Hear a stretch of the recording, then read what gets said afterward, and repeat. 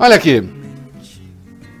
Eu, é, 59 aninhos, participei de muita coisa já, né?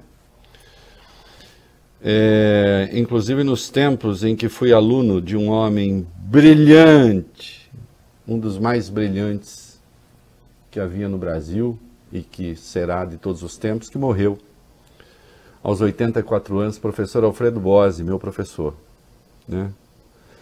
de Covid-19. A perda esses dias contardo, aí não foi de Covid, e agora do Alfredo Bose. Só para ter uma ideia da importância que ele tem na minha biblioteca, O Ser e o Tempo na Poesia, Reflexões sobre a Arte, O Enigma do Olhar, o estudo que ele coordenou com outros sobre Machado de Assis, a história concisa da literatura brasileira, que é um manual, é um clássico, outra obra que ele organizou, leitura de poesia, Dialética da Colonização, um livro espetacular, que aí não é de literatura necessariamente, um livro de história.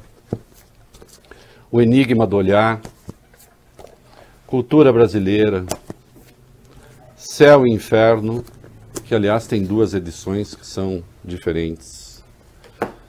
Alfredo Bose é das pessoas que mais alteraram e mudaram a minha compreensão da literatura e a compreensão de um monte de gente. Um homem de uma cultura universal alastrante, um adjetivo que eu usei também para o Contardo. Né?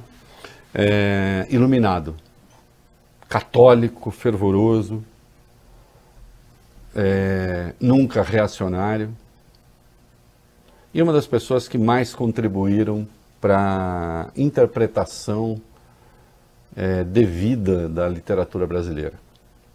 Né? E um homem do mundo, universal, nas suas formulações.